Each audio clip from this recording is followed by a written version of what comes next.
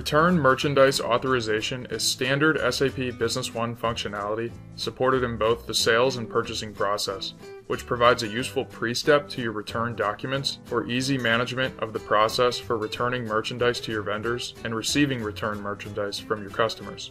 Whether you've received damaged goods from a vendor or you ship the wrong product to a customer, the RMA functionality can help you handle these cases with no issues. On the sales side, RMAs are handled in SAP Business One under the Sales module through a document called the Return Request.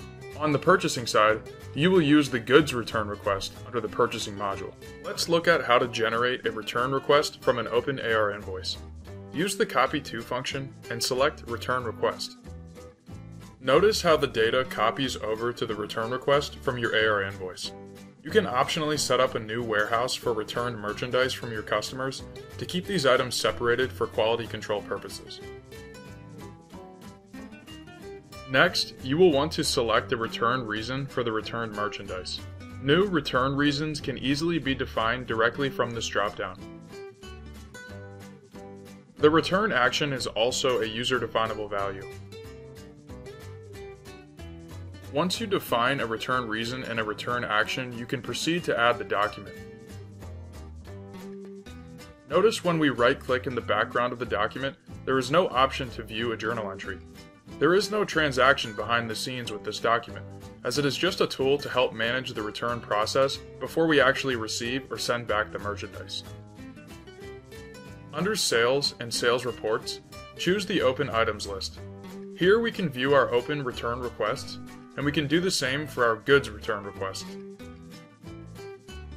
Once you receive the goods from the customer, you can use this report to drill down into the relevant return request.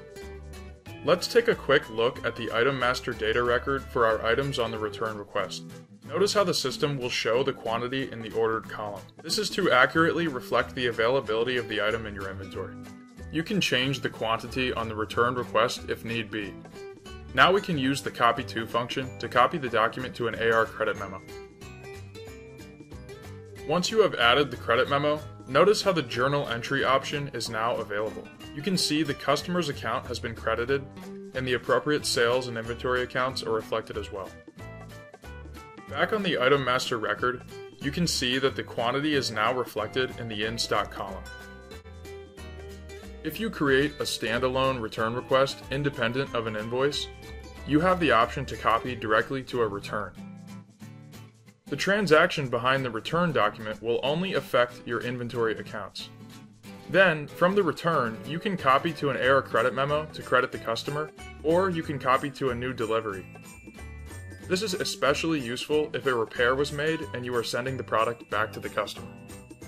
RMA functionality is just one feature among many that make up the complete end-to-end coverage of SAP Business One and as an SAP Gold partner, LBSI knows how to help you take full advantage of it.